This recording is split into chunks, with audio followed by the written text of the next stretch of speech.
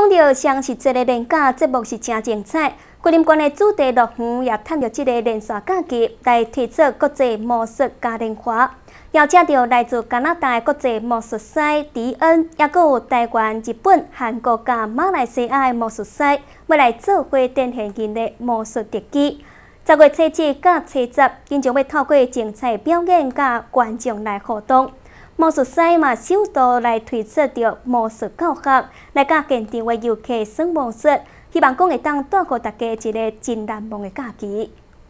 国庆年假都要到了，真侪人会利用长假安排出门佚佗。未在国庆乡的主题乐园，马探年假期间，邀请真侪国家的魔术师推出精彩的魔术表演。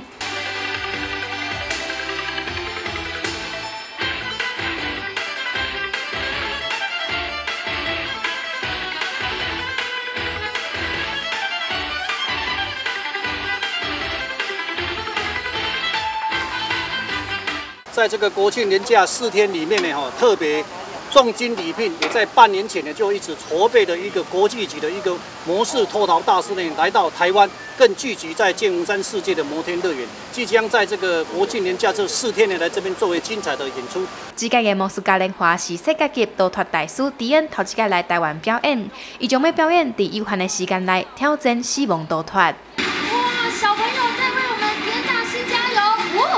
！When it's so hot like this, it makes my escapes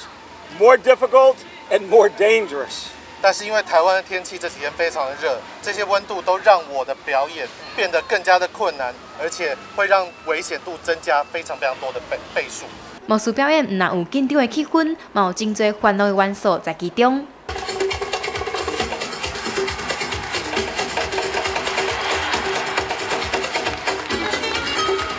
自十月七号到十月十号期间，登场的魔术嘉年华，除了会当欣赏到精彩的魔术表演以外，魔术师也将行到舞台卡，教民众做回来变魔术。左手我们拿着花盆，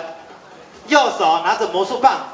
之后呢，把有没有看到有一边是红红的，红红的在上面，下面的这样呢，轻轻的点一下，一二三，点一下，快速的抽起来，噔噔。随着秋天的来到，主题乐园的水上设施也将进入最后开放阶段。民众年假若是还未安排要去倒，这也是一个真好耍的选择。记者陈一伟、胡林昌报道。